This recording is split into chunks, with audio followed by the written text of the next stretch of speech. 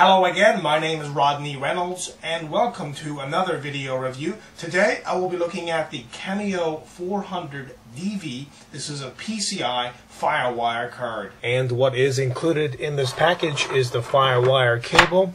You have the manual as well as drivers and application programs and you have the FireWire card itself. Now FireWire technology has been around for some time.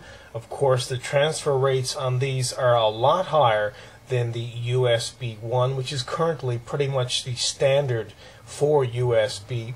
There is a new standard coming out, USB 2, which will give you around 80 megabits per second over the 400 megabits per second that this kind of card can do. This standard, though, is very common when it comes to using camcorders.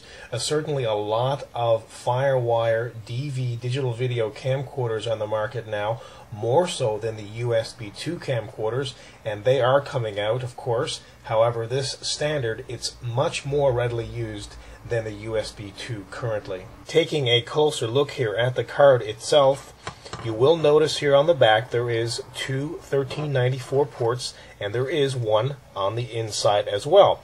Now that is a little different because in most situations, most cards, most FireWire cards do come with the ports only on the outside.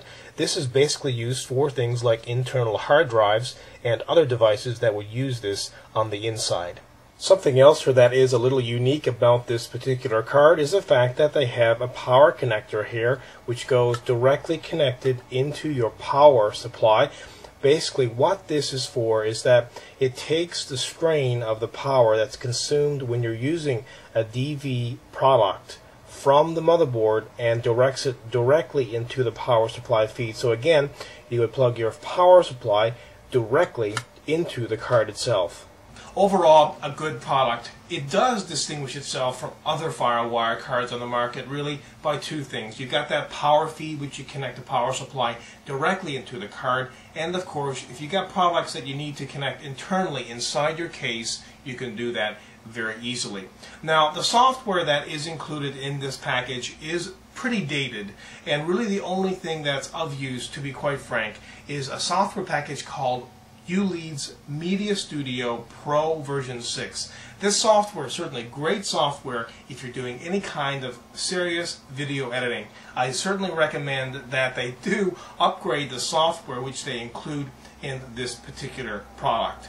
Overall, I give this an 8.5 out of 10.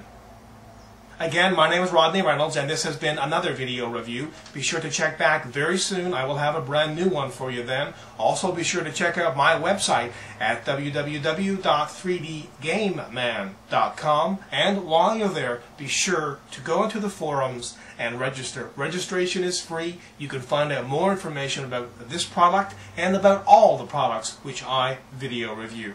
Until the next time, take care.